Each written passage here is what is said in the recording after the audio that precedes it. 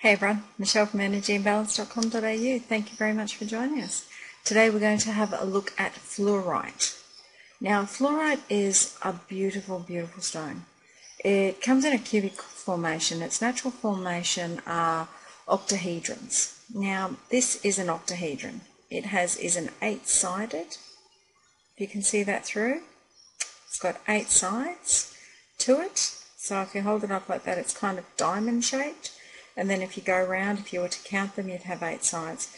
This particular piece I'm holding up there, you can see is banded and has some beautiful colours running through it.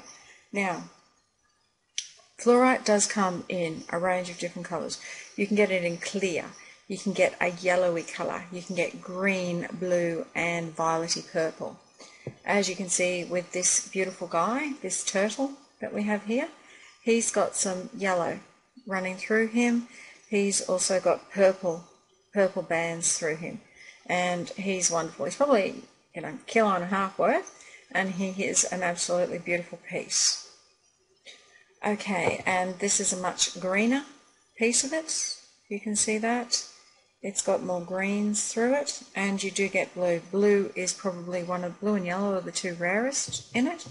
Um, but you can you can purchase them out there pretty much fluorite comes in anything you can get it in jewelry, you can get it in bracelets, you can get it in rings, you can get it in carvings, you can get it in natural form, tumbled. Um, and it is a very, very versatile stone and it's wonderful to have it around. Not much, historically, not much is known about fluorite up until about the 18th century.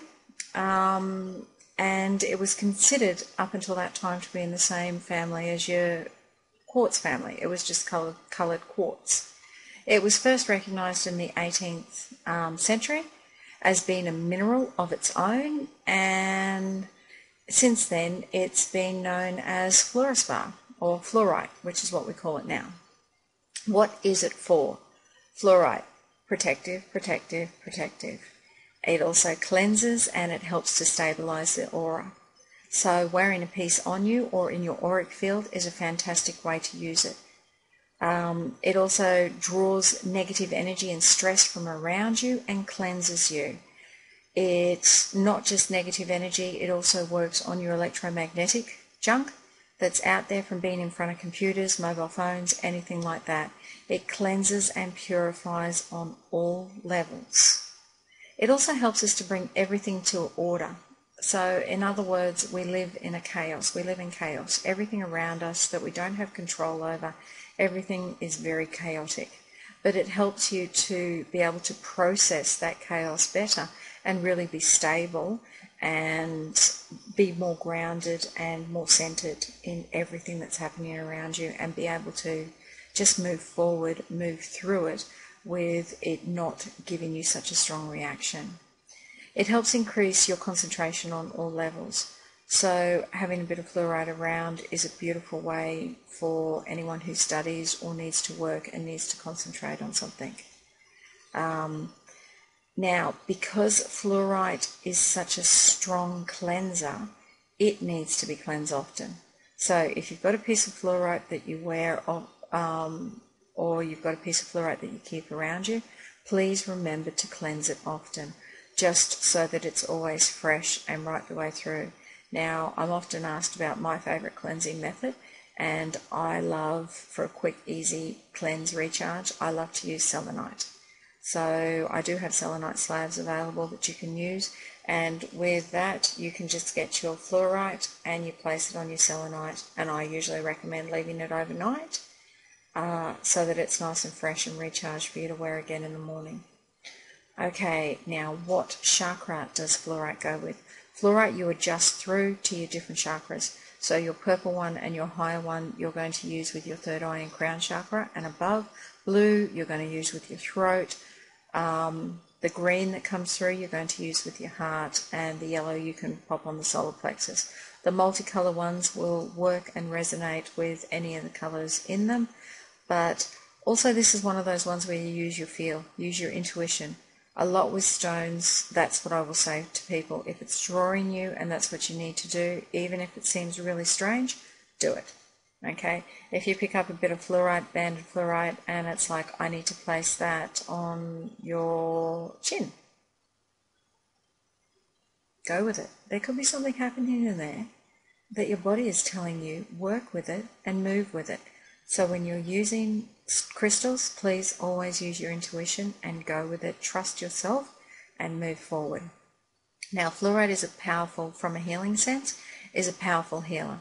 It's great for teeth, cells, bones. It helps to repair DNA from any damage that might be done.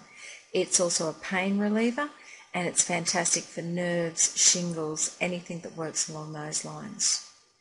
Okay, applications, how to use fluorite. Oh my goodness. Um, something like a carving can go, this little guy is in my personal collection and he goes at the front door. He goes at the front door to ward off anything that comes through, whether it's negativity, and that's where he sits and where he stays apart from when he's having a nice cleanse. Uh, where else? You can use it in pendants. You can, it loves being in your auric field. A fantastic pendant is beautiful. You can have it on as bracelets. Uh, you can have your natural formations rough, tumbled, um, a tumbled piece or a natural formation like this in your little mojo bag to take out and use as a hand warmer whenever you feel the need for it. Uh, a beautiful way is to have these guys lined up.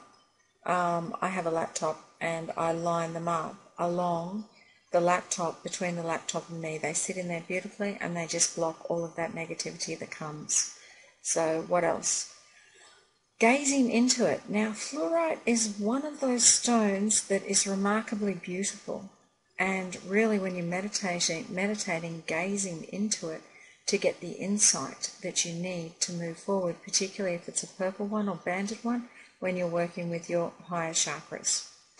All right. Um, it's also fantastic uh, to use it in gridding for meditations. So placing particularly the points, I, I love the natural formation of these guys. And placing these points around you is going to focus and channel the energy through. Alright, I think that about sums up the wonderful fluorite and some of the ways to use it. Uh, please, if you haven't got fluorite in your little bag of tricks, then get yourself some and really start using it because it is a beautiful stone, particularly for protection and cleansing. Alright, we do have lots of them available, lots of different sizes and stones available at energyinbalance.com.au and we can post internationally, so please pop on over, have a look at what we've got, following the link below and wishing you a fantastic day and wonderful vibration. All right then. Thank you. Bye.